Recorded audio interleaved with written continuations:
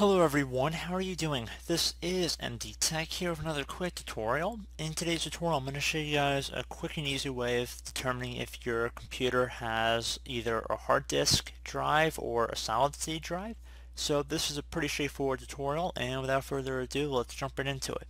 So you want to go ahead and start by opening up the start menu, just left click on the start button one time and into the start menu search you want to type in defrag so one of the best matches to come back with defragment and optimize drives. Left click on that one time.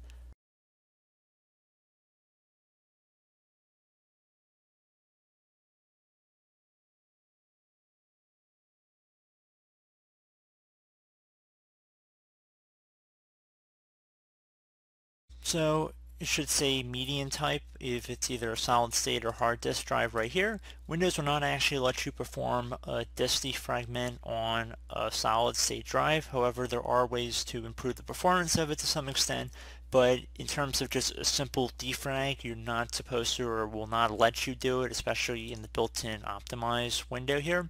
But just want to give you guys an idea, it will show you right through the screen if you have a hard disk drive or a solid state drive. Keep in mind if you have any external drives plugged in like a flash drive, it might say hard disk drive as well as a solid state drive could be listed underneath a different drive. Just need to keep in mind which drive Windows is installed on and it should be a little Windows icon above the hard disk. I'm not sure if you guys can see it in this video, but I can see it from my end here, right where I'm hovering my mouse. So pretty straightforward tutorial guys. Do hope I was able to help you out, and I do look forward to catching you all in the next tutorial. Goodbye.